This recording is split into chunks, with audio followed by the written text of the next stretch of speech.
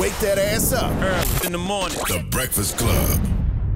Morning, everybody. It's DJ Envy, Angela Yee, Charlamagne tha God. We are the Breakfast Club. We got a special guest in the building. Yes, sir. Democratic presidential candidate 2020, Seth Moulton. Welcome, sir. Seth, Hey, what's it's great happening? to be here. Thanks for having me. Good morning. Good morning. I, you know, I haven't heard any presidential candidate except uh, Tim Ryan discuss mental health issues, and then Mayor Pete started talking about it, and you started talking about it. Why? Why isn't it more of a conversation when we know it's affecting so many Americans? Well, look, I don't, I don't know. I was actually the first in history, the first presidential candidate, presidential candidate in American history to not only talk about mental health but share my own story. Mm-hmm.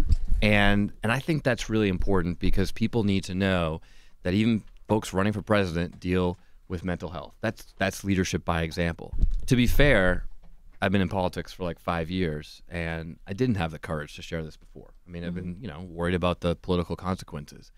But what I talked about was my own experience with post-traumatic stress coming back from Iraq. I was in the infantry. I fought in the front lines.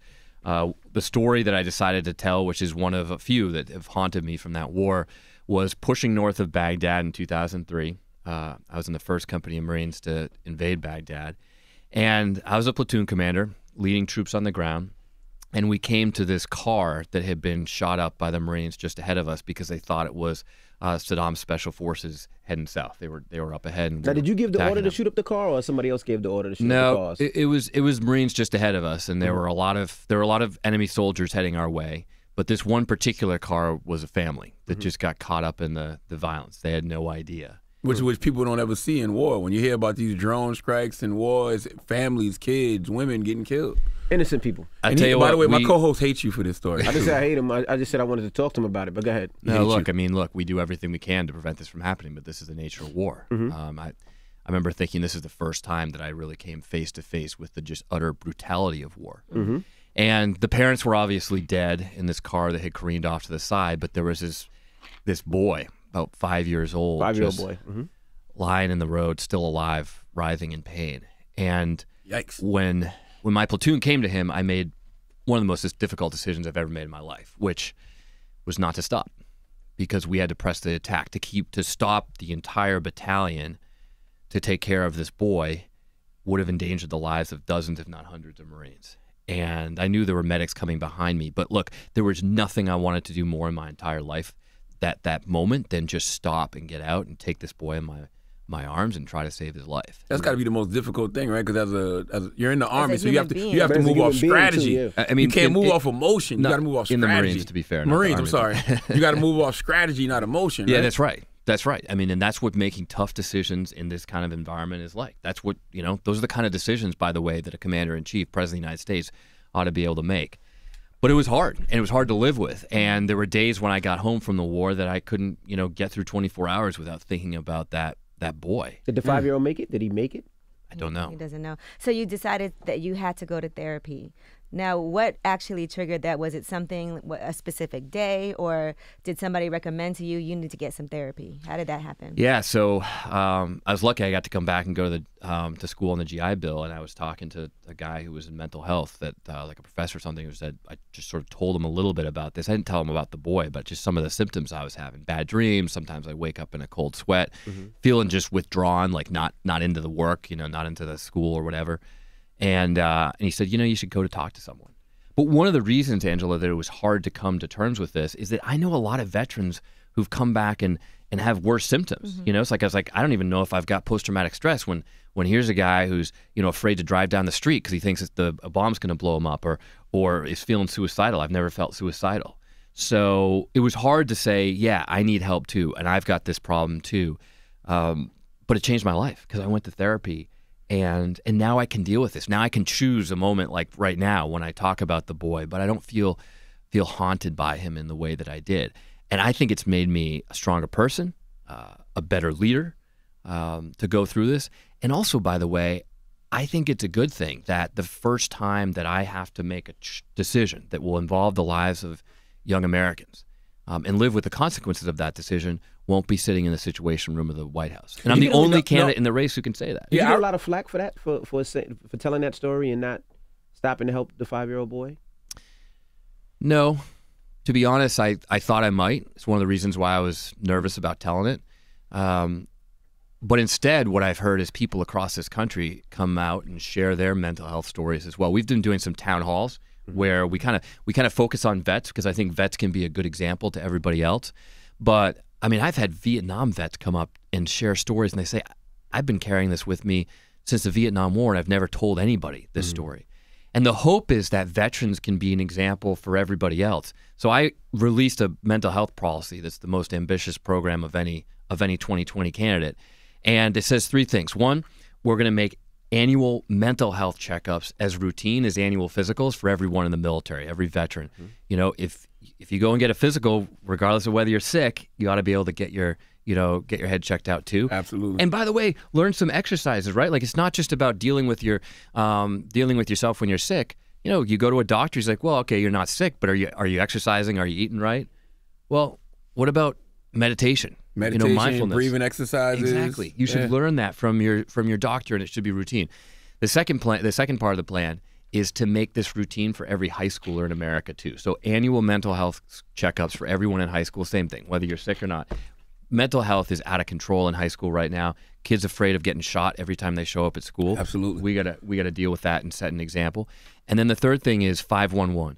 511 national hotline. You pick it up no matter who you are, veteran, non-veteran, anyone you you know mm-hmm. feeling suicidal or just need to talk to someone, you're going to get help for your mental health issue right away.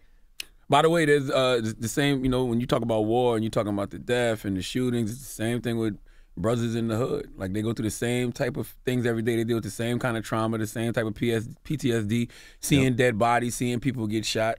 So I think that that those same type of outlets should be provided for them too. That's absolutely right. And and look, I mean, I, I tell you, one of the reasons I wanted to come on the show is because I know you've been a real leader in in that in sharing your own story. And and frankly, it's people like you who have been in positions of leadership, positions of, of great respect, who have been willing to share stories like yours that helped inspire me. There there were a lot younger Marines than myself who shared their stories of dealing with post traumatic stress. Um, before I had the courage to share mine, and, and I've got a lot of admiration for that. Currently, is there any support for veterans when it comes to mental health?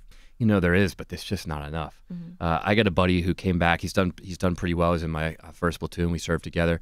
Um, he said he, he he wrote me like a text a couple months ago. He said for the first time in my life, I've I've felt suicidal. Never felt suicidal before, but I really thought about killing myself this week. And so I called the VA. They called me back 48 hours later, and they said I could talk to a therapist in three months. Damn. And he's like, he's like, I'm thinking about killing myself tonight. The hell's Wow. three months going to do for me? Right. You know. Wow.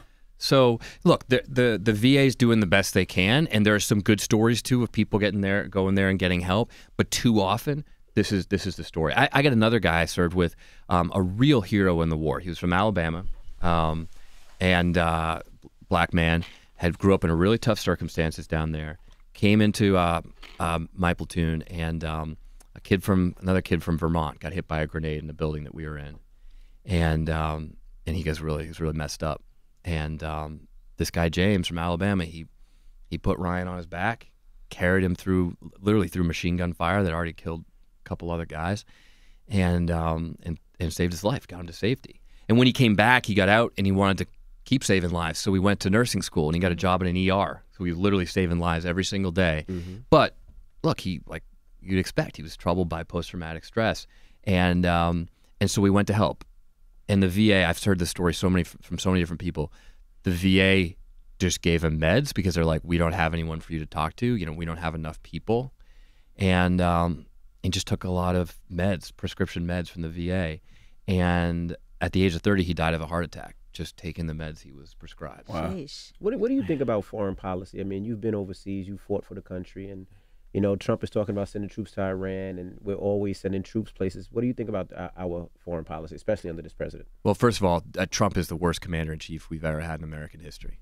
I mean, and this guy is fundamentally weak. I mean, let's not forget he he got out of serving um, himself in the Vietnam War when he was called up uh, by lying about his feet. All right. What do you mean And- lying about his feet? Well, he claimed he got bone spurs. You know, Oh. he got some doctor to write some note that he had bone spurs, and it's you know it's complete BS. And uh, and and you know what people forget? You know, I, I get the fact that not everyone agreed with the with the Vietnam War, and I get that the people protested and, and, and didn't go and all that. And you know, look, I it's a free country. I you know I, I, I respect people's opinions. But when someone dodges the draft like that, it's not like there's some empty seat in Vietnam that just has Donald Trump's name on it. You know, someone went in his place. You know, I, I'd like to meet the American hero someday who went in Donald Trump's place, I, and I really hope that that he's still alive. Does he know he was replacing Donald? No, I'm sure. He don't know. Yeah, yeah, I'm sure he don't know. Is there any reason for the U.S. to be invading Iran? No, absolutely not. And uh, in 2004, uh, I was back there. Um, that's actually where I was there with James, and uh, and and we were in a pretty fight, tough fight in Najaf and in southern Iraq. And there were Iranian soldiers who were coming and, and supporting that fight. So I mean, we've literally fought Iranians on the on the ground there. I remember how accurate their mortars were, and um, and you know what? If necessary, hell, I'll fight Iran again. If I'm commander in chief and we need to go to war with Iran, I'll do it. But this is not necessary. Okay. This is not necessary. We should not be going to war with Iran. And, and look at what happened in Iraq. Mm-hmm. I mean, and, and, and you've got people in this administration like John Bolton is a national security advisor. He just wants to bomb Iran. And he's one of the same people who pushed us into Iraq under Bush. And the thing that Bush and Trump have in common is they both dodged serving in war. That means they got no credibility to say to these hawks, like, hey, we don't need to, to go there. Does he have the authority? Does Donald Trump have the authority to say, okay, we're gonna invade Iran without approval? No, not without coming to 'Cause he- Congress. he thinks he No. does. He can do thinks it, though. he does. He, well, that's the problem. Is he, do it, yeah. you know, like if Congress isn't doing its job to hold him accountable, you know, we've been fighting to get some amendments passed to say, you know, just we're going to cut off the funding if you try to do this. But, you know, Republicans are scared of the president, and so they don't they don't want to they don't want to support that. And, But- and it wouldn't be the first time a president has gone to war without Congress's approval. No, that's right. Well, the Vietnam right. and Iraq, right? Well, I think that there's a lot of parallels with Vietnam here because I think the Hawks, like like like Bolton, Pompeo, what they're trying to do is get us into a situation where there's just some something, you know, some firecracker, you know, sets off, and we're like, oh shit, you know, we got to respond, and and that could get us into a war. And and Trump does not have the credibility to say, no, we're not going to do this. He's all over the map. We, he, he, you know, has no strategy whatsoever. He says that he he pulled us out of the Iran nuclear deal. Well, that's done a lot of good because now Iran's building a nuclear weapon. He's got no replacement for the deal. Um, he's got people in his administration who are starting trying to start a war. He approved airstrikes and then he pulls back. I mean, this is American lives that are going to be mm-hmm. at stake here. Right, not just Twitter. Mm-hmm. This isn't just Twitter.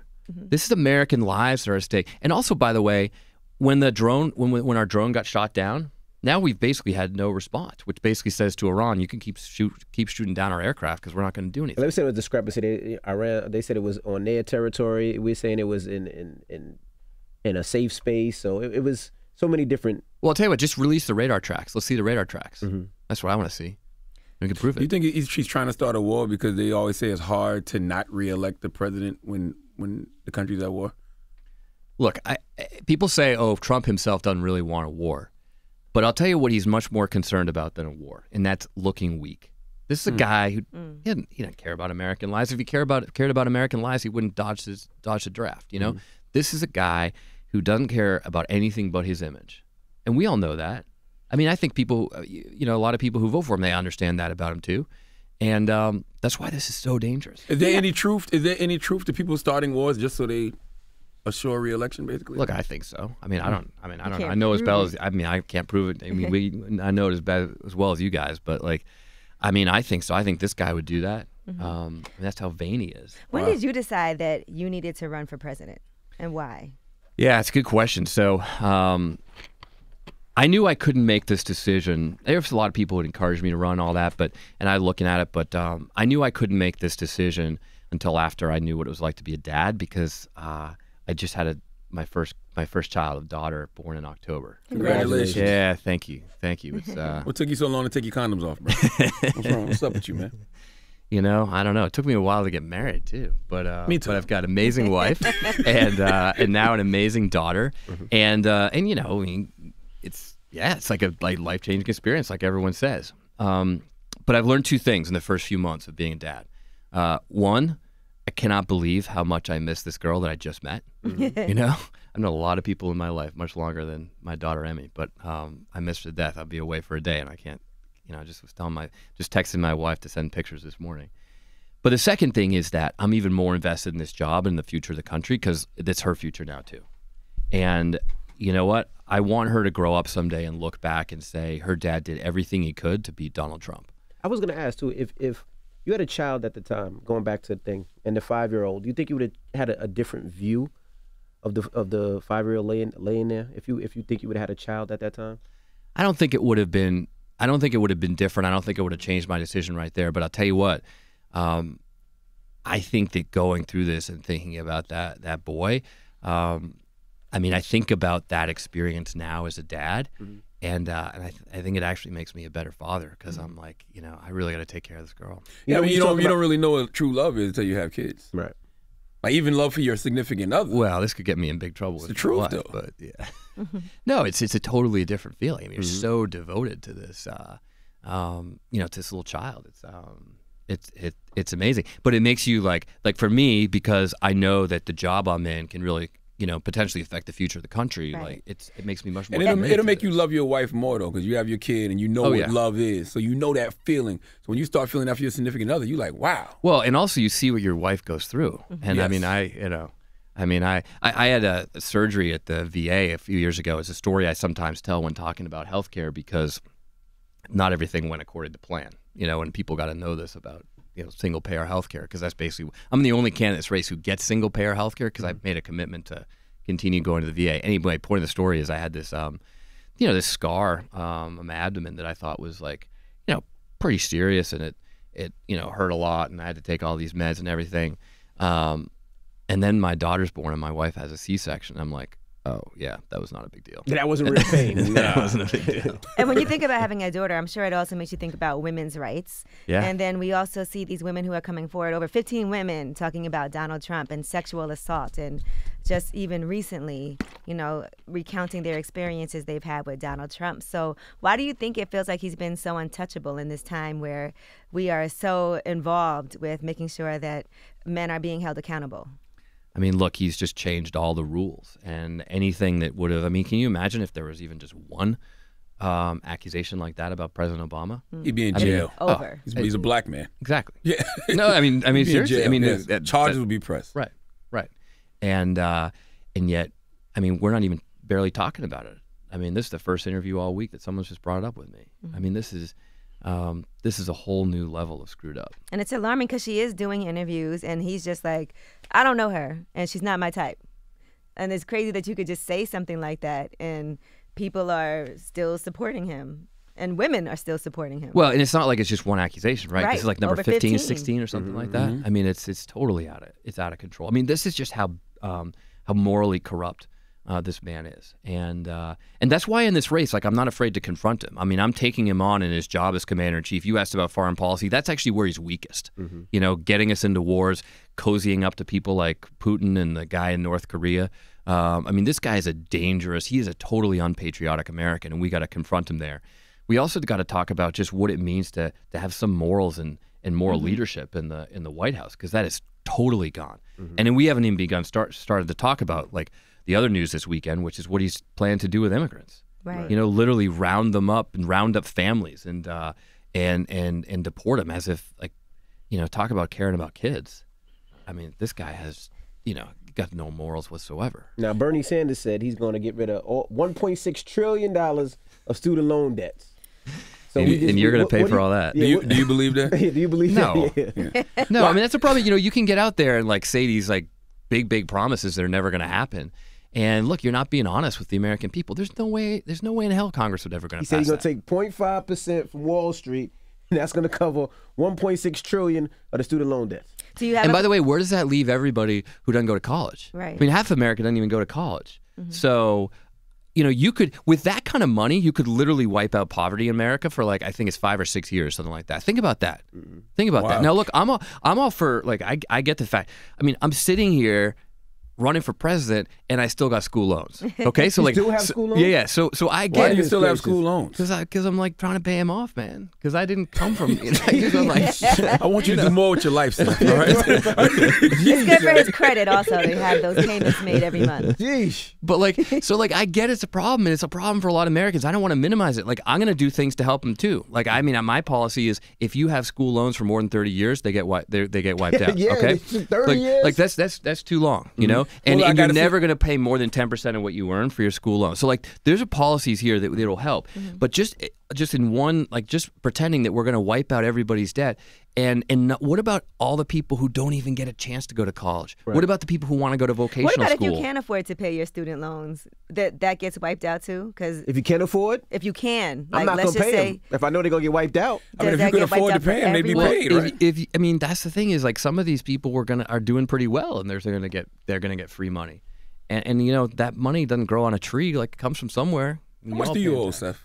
How much? I, o- I only I'm really getting low. I like but you gonna like, pay it off on? Like like five thousand bucks left. You got them, Sean? You cheap No, no. bastard. Pay the goddamn money. is he gonna take it out of his campaign money? Hey, every month, every month, every month, I write my check. You know, You they're only even- gonna wait, they're only on. gonna get as much. Hold on, you write a $50 a check every month, but you don't have a, like a has be. direct payment. Oh no, no, plan? I'm sorry. Yeah, yeah. It's yeah, it's auto. I was gonna like, say, come on, you auto. can't still be writing checks and No, no, no. I'm not literally writing a check. Yeah, fair. Yeah, that's fair. Now, Let's take a little bit of your campaign money and That's illegal. That's illegal. So illegal. So illegal. By the way, it does not prevent some of my colleagues from doing it. really. Oh yeah, there was a there's a big story out in California about some guy who's like using his campaign funds. No, he used his campaign funds to pay the tuition for his ki- kid to go to school or something like Really? that at a private school. That sounds like karma a little bit though. Oh, like like the circle of life almost. Like I owe, but I'm gonna get some money from y'all. You know that's illegal. Well, That I'll is tell you what, illegal, sir. Don't worry about it. Uh, yeah. Now, what about so growing weird. middle the, the middle class and, and small businesses? It's, it's a lot. It's it's very hard for minorities to get loans. Almost difficult. Almost unbelievable, impossible. unbelievably hard. And there are a lot of people who can't even talk about getting a loan to start a business. A lot of people can't even get a bank account. Right. So my plan is a lot of Americans who are they, we call them unbanked. Like they just don't have a bank to go to, and that means they got to go get payday loans and everything, and they get you know the, the interest rates are out of control. So here's my proposal: the postal service, you know, they're not handling as much mail anymore, so we're gonna introduce an additional service at the postal service at every U- U.S. post office that is a is a bank. It's like a public bank. It's sort of like having a public option in healthcare, like uh, like President Obama tried to tried to pass. So if you can't go to a private bank because they won't accept you, um, then you're going to go and have a just basic banking services, nothing fancy, you know, no no fancy metal credit cards or anything like that. But but you're going to be able to go to the post office and you're going to have a bank account that will just you know make a modest interest rate and and and and there won't be any cost associated with that. Like you're going to get just basic services, uh, checking account. I mean, I don't know if write checks or not, but like that, but but you like just basic services. And that'll help you build your credit also. It helps you build your credit. It helps you um, just make sure you're not getting, you know, taken advantage of, but all these payday loaner, uh, lenders and everything else. I mean, it, like frankly, probably put a lot of them out of business, but that's okay. And uh, and it means that you know if you're someone who just needs a second chance to start putting their life back together, um, you know, it's um, I see a lot of vets with this too because they come back, they get in a little bit of trouble because they got post traumatic stress, um, and uh, and you know they just need a little bit of help to get off the ground. Um, yeah, it is. It's it's criminal the way that we. Um, and this is, by the way, the statistics. I don't you go. You go. You guys all know the statistics, but like, it's so clear that there's just outright discrimination against people um, who want to get loans. You know, want to want to want to start a business. Question: Why why does America treat its veterans like shit? Because nothing pisses me off more than when I see you know guys standing with the signs that say I fought in Vietnam, and people just walk past them, won't even put no change in their cup. Like I think that all veterans should never have to pay taxes ever again. They should get free room and board for the rest of their lives, and they should get like a stipend every month just to be able to survive, eat, pay their bills. Well, that works for me, but um, no, I'm I'm joking. I mean, look, it's wrong. It's wrong, and I think the reason is fundamentally that you know there was a time in America when a lot of people served their country. There was a time in America when our political leaders actually asked Americans to serve. They actually got elected by saying, "I'm to I'm to ask you to give something back, rather than here I'm going to give you all all this you know free stuff," and um, and and that's changed. Right. So people don't have this experience. You know, people. A lot of people come up to me and they say like, "Hey, I support vets," but they just don't even know where to start because they don't even know what, what what being a vet is all like. There's vets getting deported even There's- for this country. I met with a house full of them in Juarez, Mexico, and there was this guy who had served in the Navy, um, the served in the Navy for ten years, done a lot of great jobs, got honorably discharged. But then you know what? He had a drinking problem from the Navy, so he got a DUI. And he look, he's the first one to say it was wrong. He did his time. He did his time, and then he got out and he got deported. Hmm. His parents are American citizens. His kids are American citizens. He doesn't. He didn't. He didn't been to Mexico since he was 16 years old you know, and he didn't have any family or friends there or anything else. His whole family is in America. He served his country. He just didn't look, he just screwed up. He didn't bother to do the paperwork for his citizenship when he was in the Navy. Right. But now he's deported because of this this administration, because of Donald Trump. And and it's so messed up. But but I want to get back to what you're saying about just treating vets. One of the things I'm I'm I'm doing in this campaign is I've got the most ambitious national service uh, program. Now this isn't expanding the military, but it's expanding opportunities to serve the community here at home. Programs like City Year, AmeriCorps. And here's the deal: if you serve your country for a couple years, we're going to help pay your education. So it's like a civilian version of the GI Bill. Mm-hmm. And the hope is that this will not only help people go to school, whether they want to go to college, vocational school, you know, skills academy, whatever it is, but also it will help bring Americans together because I served with such an incredibly diverse group of Americans. Mm-hmm. I mean, people from all over this country, different skin color, different religious beliefs, different political beliefs. We all came together in the same platoon, you know, fighting on the front lines, and we had to put aside those differences to do what's right for the country. And look, we still got differences. Like we we get on Facebook every single day and we mm-hmm. debate issues and and, and and they're not all the same. But we have so much more respect and understanding for each other. And I've got friends from parts of this country and from different backgrounds that I never would have even met if not for being a Marine. I want more Americans to have that experience. I don't think you should have to go into the military to do it.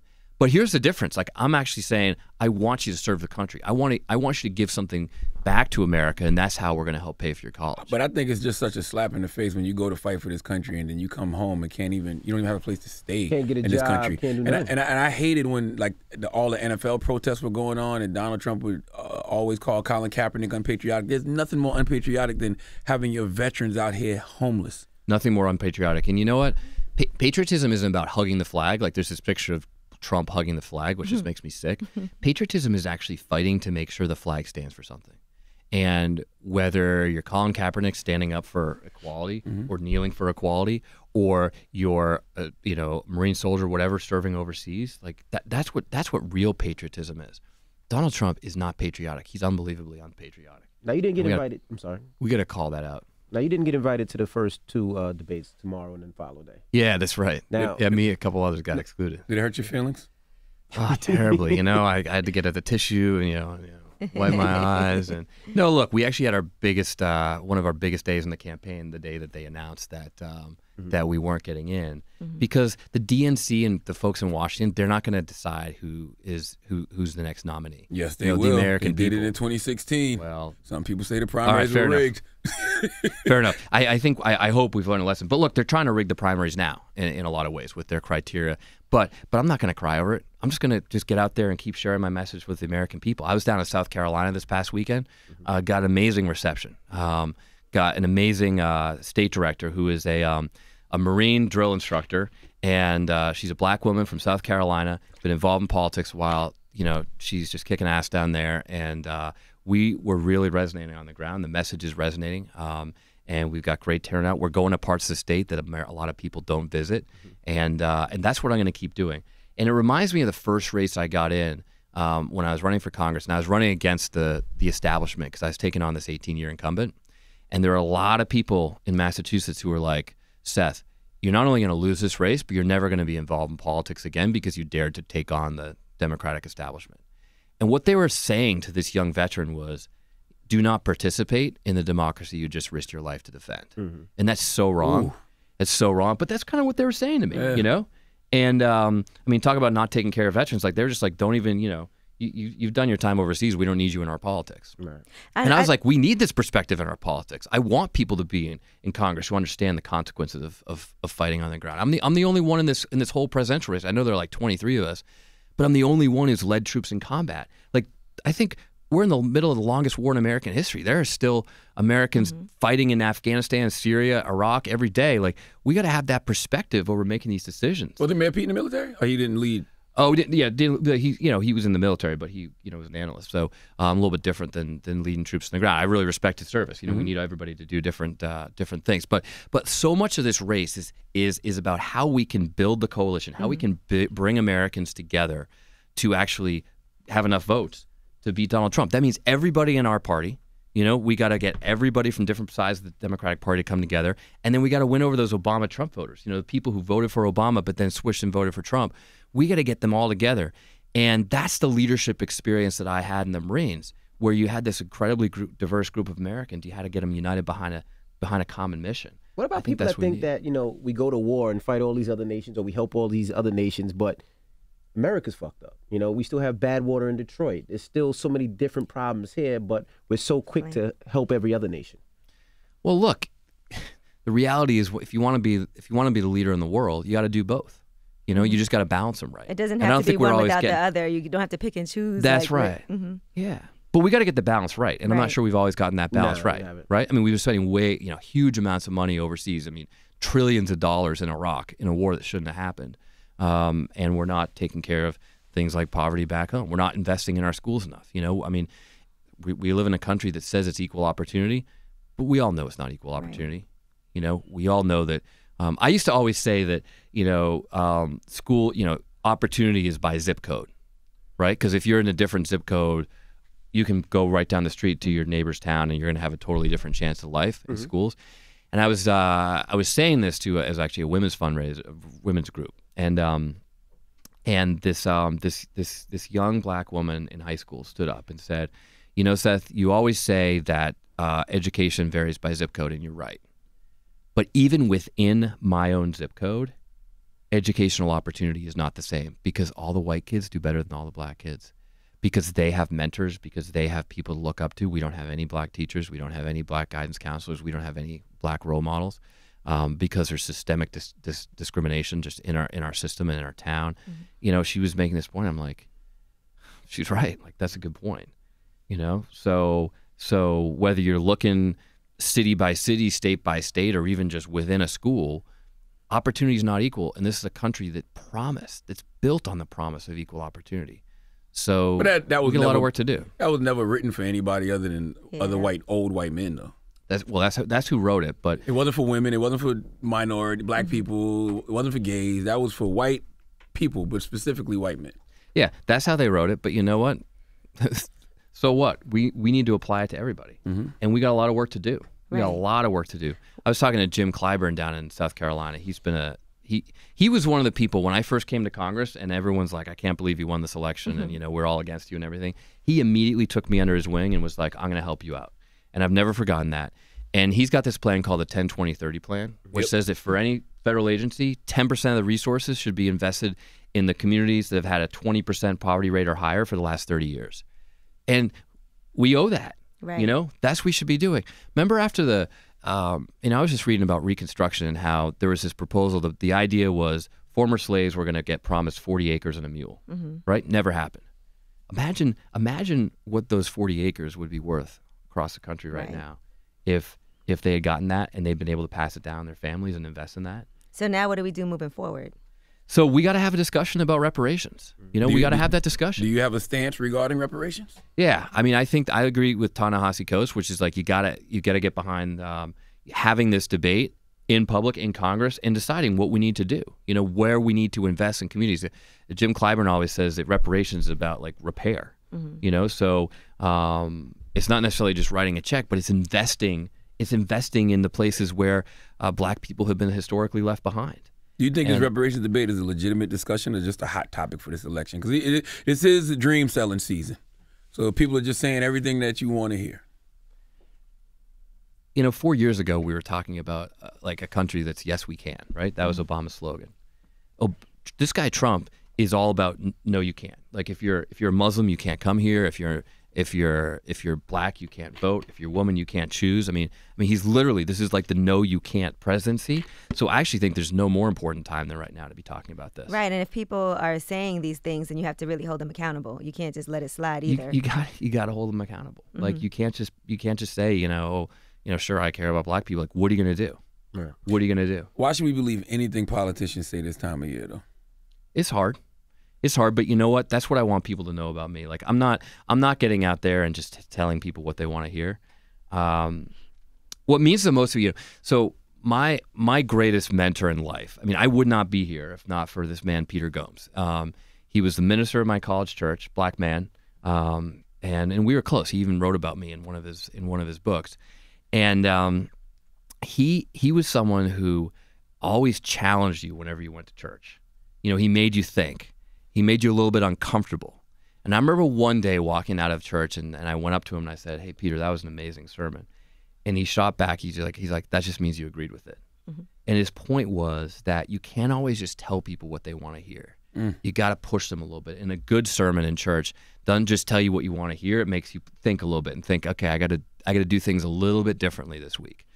And uh, that's what he challenged me to do in life. Um, he challenged me to serve. That's why I decided to go into the Marines. I always pay attention to who people have on their team too.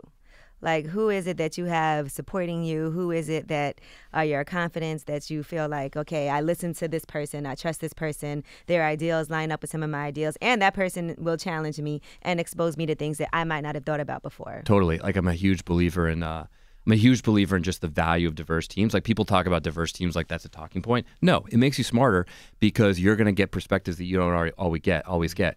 Now, let me tell you, one of the problems in politics is that if I just put out a job opening for my my my office in Washington, it's almost all white people who apply. Because you know what? It's really expensive to live in Washington. If you want to be an intern, which is where you start, you can't even afford to to live there. So I just started this um, this thing called the Congressional Fellows Institute, which basically just provides scholarships for um, minorities, people of color, to become interns, because we need to start feeding the pipeline where people can apply for jobs as staffers, chief of staff, things like that, high level positions, because they came into the system as interns. Right. And right now, like basically, it's all white interns on Capitol Hill. So, by the way, what do you think that means when they're, you know, doing research, giving advice to lawmakers like myself when it comes to making laws? Like, we're just getting the white perspective. People are interested in their own interests. Also. Right. Yeah. I mean, look, even if we're like, you know, we're trying to get different perspectives. Like, if you only have rich people working for you, you're just never going to get the perspective of someone who um, comes from a different background, has had different challenges in life.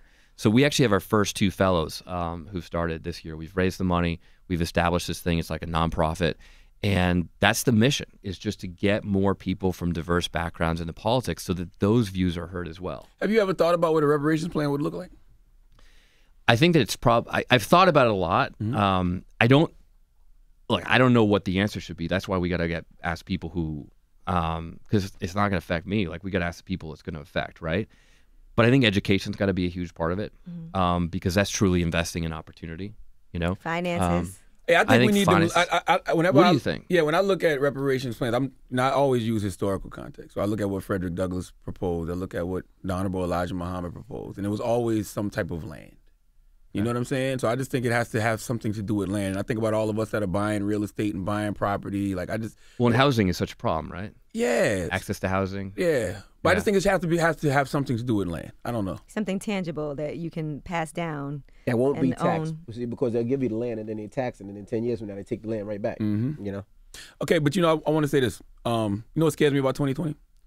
2016. And the fact that there was some fishy business going on with the DNC and the primaries because I, I feel like the Democrats cannibalized themselves.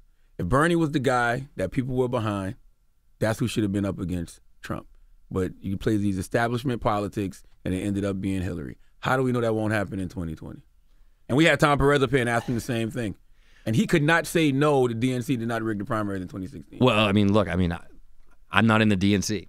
You know, I, I don't. I mean, I'm not. To be honest with you, I don't know. I don't know that I can answer that question because I think we got to be be holding them accountable and we got to be vigilant. And uh, and that's why even though um, I'm not in the debate and there's a couple other people who aren't in the in the first debate, uh, you know, I'm going to go to Miami. I'm going to get on TV and I'm going to make sure people hear my message and hear what I'm about, all about, and and say to people, you know. Um, the DNC should not exclude a combat veteran from from this debate process. We should hear that voice too. And I think that's a fair position to take. Do you believe they did rig the primaries in 2016? Oh yeah, absolutely. Everybody knows that. yeah. Absolutely, they did. Yeah, yeah, no how question. Can you, how can you trust anybody then? Because you got the Russians interfering in the general election. Look, this is this the is the single primaries. this is the single biggest problem right now is you can't trust anyone. I totally agree, and it's one of the first lessons that you learn when you show up for the military for training. I remember when I showed up, I didn't know anything about the military. I didn't even know the difference between a, a sergeant and an officer or anything. I was really clueless, right? Um, I just wanted to, to do my part. I show up, and um, and you quickly learn that you can fail a test, and they'll and they'll let you retake the test. You can drop out of a run, and you know they'll probably let you try it again the next day. But if you lie about anything, you're gone that afternoon. Wow. You're gone that afternoon because that's how important trust is. I mean, you're you're going to risk your life. You're going to count on the um, the man or woman next to you to risk your life. Like you better be able to trust that person. So Yeah, who do we voter- trust? And And we can't trust. suppression. You Trust can't, the American you people. Can't, you can't trust anyone. I mean, you can't trust this president. You know, like I want But to you can't trust Democrats either if they're doing stuff like that in the primaries. you know, the point is you got to find individuals you can trust, and that's the case I'm trying to make to America. Mm-hmm. Is you're not going to agree with everything I say. I'm sure people listening today are thinking like, there's some things he said that I don't agree with, but I, you, you got to be honest about where you stand. Do you think the electoral college is antiquated and we should have Oh a come on! It, it was system? it was literally that was literally designed when they were you know counting um, blacks as three fifths of a person. yeah. You know that's where that comes from. It's so ridiculous, and it, and it means that so many people who vote in this in this presidential election know that their vote doesn't really count. I mean, you, you guys vote in New York, Yeah. Like whatever, it doesn't matter who you vote for because New York's going to pick the Democrat, right? So like some of you might not even show up to vote, and that's so wrong. I mean, a fundamental principle of a democracy is that every vote counts. Well, not if you're not if primaries are being rigged and general Nope. elections are being and rigged. gerrymandering, and there's still voter suppression going on, especially in the South. right. You know, I mean, Stacey Abrams should be the governor of Georgia right now. She Andrew ran Gillum against should be the governor of Florida. governor of Florida. Um, you know, there, there, there's a race in in uh, North Carolina. A veteran I was supporting, they literally had votes stolen out of people's mailboxes. Like we thought we fixed that in like 1960, and it's still going on today. I, I've called for a new Voting Rights Act in America to incre- imp- improve and strengthen the one that that um, that we used to have, um, because we got to end this stuff. We got to end voter suppression. Um, we got to end gerrymandering we got to end the electoral college so that everybody can vote in the presidential election and know that you know if Hillary Clinton beats Trump by three million votes, he's not going to be the president. Right. At this point right now, what party is more full of shit, the Democrats are Republicans? Republicans are way Yeah, more full of shit. You know why? Because what they say in private about Trump is totally different than what they say in public. Mm-hmm. Because in mm. private, they know that he's an idiot. And if you're wrong, that- you're wrong. It shouldn't matter what your party is. You should be able to call people out. Just will be able to call people out, right? Mm-hmm. You know, I got I got some heat for um, for challenging our leadership, just saying, you know, hey, you've been there for a combined total of of of hundred years. Like we need to get some new voices in the party. We all this amazing freshman class. Like we want to give them a chance to to lead. You know, and people like, oh no, no, you can't you can't challenge challenge. But but you know what? It's okay if you disagree. Like just get out there and, and show where you stand. Like have the courage to just say, this is where I stand. This is my this is my position. It seems like Joe Biden's leading in the polls. What are your thoughts on him? Look, I mean, I- he's been a mentor and a friend of mine. Like he's a, you know, he um, he's a he's a good guy. Um, I, I think he says things that are like incredibly offensive. Um, but um, but he's a, you know, I think he's genuinely a good guy who believes in his country. But like, you know, You think he's I- I think it- throughout the years. let's just say, I think it's time for a new generation of leadership. Mm-hmm. You know, I think it's just, it's time for the generation that fought in Iraq and Afghanistan to step in for the generation that sent us there. I I think it's time for the generation that's got to deal with like climate change and the changing economy to, to step in for the generation that got us here. Like it's time for some new ideas here, folks. Some new blood. You know, Who's who's blood. in, who's in better shape moving forward, Democrats or Republicans? Because I'm. It seems like both parties are all over the place right now. Well, I think both parties are all over the place right now, and we have a we have a chance in 2020 to show what kind of nation we really are. Like this election is about a lot of things: healthcare, climate, economy, and everything. But like most of all, it's about our values, like who we are as a country. You know, are, are we going to follow Donald Trump's, um, you know, narcissistic values, or are we going to be the country that actually lives up to these promises that we made in our Constitution? Like that's what this election is about. But you know what? It's one thing in 2020. It's really about what we do in 2021 because we can make all these promises, including some of the ones we've talked about, you know, free college, all this stuff. But if we don't do anything, then people are going to look at us and be like, "Well, Democrats, you know, you made all these promises, you didn't didn't follow through." Right. So, look, we got a lot of work to do, and and I've been working very hard um, to not just you know uh, do my job as a congressman, but get other people into politics, get new people into politics. I supported a whole bunch of veterans who ran to help flip the House this past year. Um, had a huge impact on House races. About about half the seats that we flipped to take back the House were were candidates I supported, and um, and they're going to make a difference. But the point is, you know, we just need to get some new blood. Yeah, I just want I just want Democrats to finally stand up to Trump, man. There come a point in time where you got to stand up to the bully. Even if you just get the impeachment proceedings going. Not saying he'll get impeached, but you have to set a precedent that this behavior is not what we will tolerate from presidents of the United States of I- America. I cannot tell you how right you are. So I was actually the first candidate in this whole field out of 23 or whatever it is now running that called for impeachment. Because you know what? I get the fact that the politics might be tricky. Mm-hmm. And that's, you know, Pelosi makes a good case that the politics are tricky on this. But what about the principle? Like, what about the fact that, like, this guy broke the law? Mm. Like, I'm sorry, but the, the rule is in the United States you break the law, there's consequences. He lies and breaks the law all the time. Bill Clinton it's- got some head All in the, time, in the White over again. House, and lied because he's married, and and they And he- started the impeachment proceedings against him. Like Jesus yeah, but Christ. but obstructing justice, like, oh, okay, fine, we'll just let you get away with Absolutely. it. This is a lot That's ridiculous. Well, how can people than find you online, Seth, so that they can donate to your campaign, learn more about you? Well, thank you. SethMoulton.com. That's S E T H M O U L T O N.com. Uh, go on there, check out what I'm about. You know, um, read my policies, read my positions. But but most of all, I hope you just see that you know I'm a veteran. I'm a young father. I'm someone that you may not agree with me on every issue, but you're, I'm someone you can trust. Like I'm always going to tell you where I stand. Um, I'm going to be honest, and that's the kind of leadership we need in the Marines. That's the kind of leadership I think we need for the next president of the United States. what about the GoFundMe for your student loans? You have something set up for that? No, no, I'll you be don't, okay. You don't want to throw that out there? All right. Seth, we appreciate you for joining us. Hey, thank you And very you're, much. You're a Patriots fan? Look, of course I am. I told you I'm going to be honest. You know, know, didn't know how to answer that. oh my goodness! All right. Sox too. You know, Oh, man. Bruins, Celtics. I mean, you Oh, know. man. You have no choice. You're from Massachusetts, right? Do you honestly think I'd get elected if I wasn't? But no, I'm, I've always been a been a Pats fan. Always been a Sox fan. Um, that's just you know that's who I am. All right. Well, it's Seth Moulton. it's the Breakfast Club. Good morning.